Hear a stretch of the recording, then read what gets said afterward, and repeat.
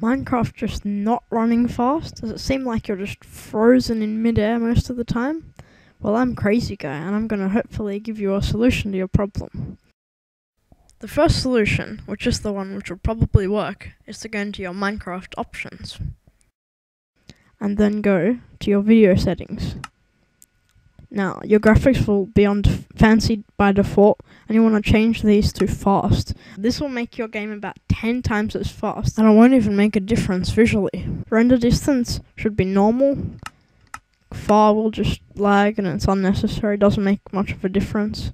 Performance, max FPS, or balance, but not power saver.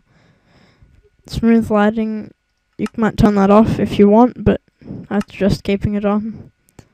3D anaglyph, that's for 3D mode, so you do not want to turn that on. GUI scale, normal, because what that does will just make your Minecraft the wrong size, so keep that as normal. And advanced OpenGL off, view bobbing on.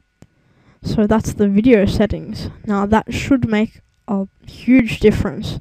But if it's lagging on your first day and night, this is because the world is still generating, so that lag is different. So you just gotta wait a few days and nights and then that should be gone. So that's nothing to worry about, it's just Minecraft.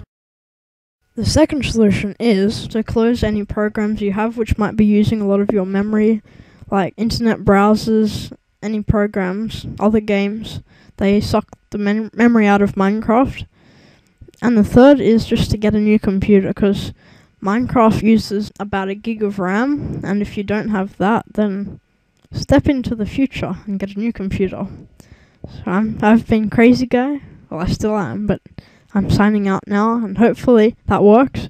And if it doesn't, post below, and I should be able to give you a solution. Thanks for watching.